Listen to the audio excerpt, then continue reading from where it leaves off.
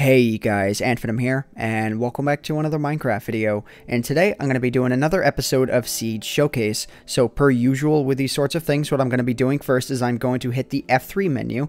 And as you can see, uh, you can see the seed and the spawn point and all that. Uh, this actually is the spawn point for the map.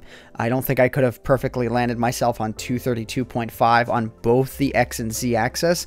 That would have been kind of um, that would have been kind of weird to be able to walk exactly to that spot. But uh, rest assured, this is exactly where the map spawns, and it's kind of interesting that it is exactly 232.5 on both accesses. So that's something that I wanted to bring up that was kind of neato. But anyways, moving on here, I'm going to go ahead and I'm going to hit the F3 menu and show you guys what this map is made of. Now, uh, just so you don't think I'm showing you guys a random map with a forest, there is an awesome mountain behind me that I'm going to be getting to here in just a moment. But if you're playing this on creative or adventure, just um just be wary that you uh, you look this way when you spawn. And you want to head off a little bit forward and then to the left here. Now you might think oh it's just a ravine. Well this ain't no ordinary ravine. Don't don't judge a ravine by the way it looks on the outside. In this particular case you want to judge it by what is on the inside. And what is on the inside is a tree. Like, I've never seen a tree spawn inside of a, of a ravine before. That's kind of weird. But I need to get myself a diamond sword here because there are cows on the inside of here too, as you can see. And they spawn inside of here, which is kind of just weird. Like, I mean, these cows really don't have very sustainable live uh, lives. I don't even know what I'm saying right now. They don't have a very sustainable life because, I mean, what are they going to do? Be forced to eat, eat each other or something? I just don't see that working out, so I'm going to put them out of their misery right now. And I, need, I still need to make my cow killing montage anyways. As soon as I figure out how to properly format it and all that, then uh, I will be working on that as soon as possible. But anyways, moving on here. So as you can see with this ravine, if we take a look through it, uh, it gets really wide open. Oh, Oh, what's that over there? Yeah, you can see those. This is the ravine right here. It sort of lines this way, and then it hooks around that way into a really nice looking cave system, I might add. Um, but I'm not going to go exploring it right now. I'm going to allow you guys to do that if you decide to check the seed out for yourself. And as well, there's this really big, I mean, even in just a regular cave, this would be expansive. Like, let me just come down to the ground here. And if you were exploring a cave and you found something this big, I mean, in and of itself would be magnificent. And just to have a ravine cutting into it, it really only adds to the fun of the map. And one more thing I'm going to show you with this map is uh, you can see from sky level, or you can see sky level and uh, bedrock level, well, lava level, which is the 10th uh, 10th layer in the earth, which is right about where diamonds uh, spawn and getting out of the fire there. Uh, there we go. There's a diamond right there. If you want to do a speed run for diamonds, uh, there's a spot where you can get diamonds at. And I'm not sure if there's any more nearby. I haven't taken too much of a look, and I'm not going to in this video. Once again, I'm going to let you guys do that for yourselves. But anyways, moving on here, let's go ahead and let's get out of the ravine. And if you guys want to see any more of the ravine, be sure to check out the seed for yourselves. Um, and yeah, so one thing that I like about this map in comparison to a lot of other maps is that the wide variety of biomes. What you're going to notice, at least in uh, at least for me, is that the grass color for me is all the same because I don't like the sort of dead grass look that most of Minecraft has these days. It sort of has like this tealish color. Like right now, if I were to have the default texture pack on, the grass would match the tree leaf color, and I just don't like that. To me, that just doesn't look natural in any way way. Um, or either that or it just doesn't look appealing to look at. So that's just something to keep in mind.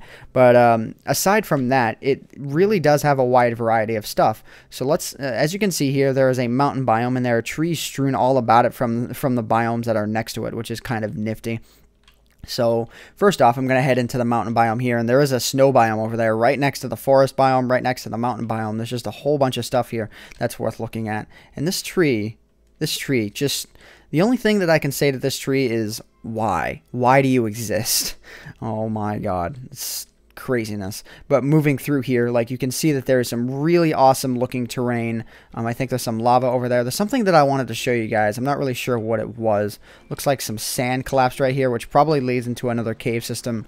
Uh, perhaps not. At least as far as I know when I checked this map, uh, there were not really that many caves that were around this area. But look at this.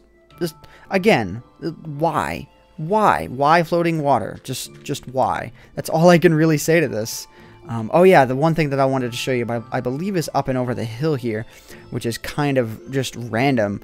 I mean, you can see like there's a sort of like uh, I don't know, like a crater in the earth almost. I mean, it seems like that's what it would be if like a crater were to if if something were to crash land right here, it would create a crater this big.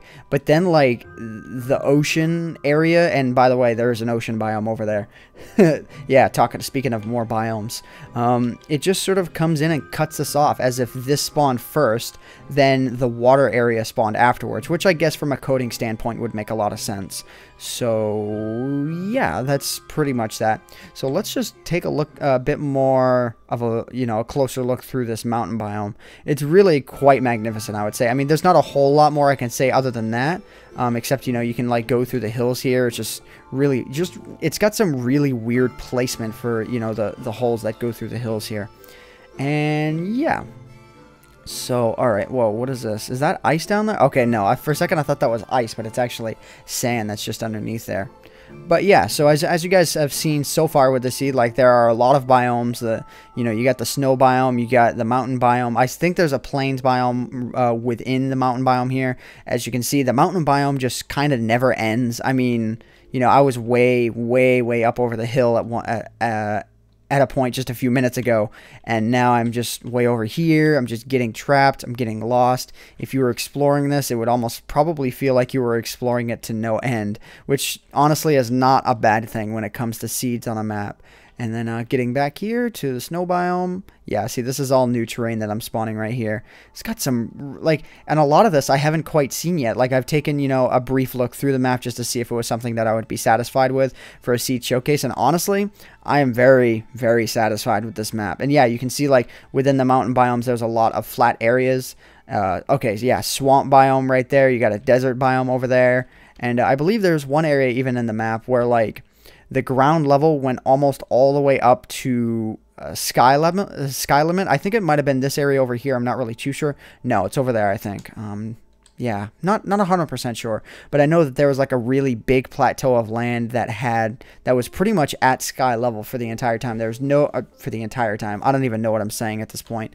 Let me see if this was it. Yeah, this was it right here. Just it's just amazing how high up these mountains go. Just imagine if like I was using the the dynamic blocks mod or something like that in order to spawn these even higher, but just something to note before you guys start requesting that. I do seed showcases with the dynamic blocks mod is that uh, they use a completely different spawn code, so it's not something that would really be worth it. But yeah, I highly encourage you guys to check out this seed. Um, it's got a lot to offer, and definitely, if it's something that you decide to just straight up explore, then I'm guessing you would probably end up finding quite a bit. And it, also something to note as well, uh, when I looked at this through an X-ray texture pack, uh, if I remember correctly, I ended up seeing quite a few dungeons underneath, though I don't remember seeing like a stronghold or anything like that spawning right, you know, right nearby the spawn point, because that would just take this take this seed to like level, you know, to Mach 12 or something like that. I've never judged anything like this in terms of Mach speeds, but there you go. What is this? I'm just not I'm just not even gonna bother. I'm gonna let you guys check this out for yourselves. So anyways, I hope you all have enjoyed this particular video. Uh, my name is Ant Venom, and I bid you all farewell. Thanks so much for watching.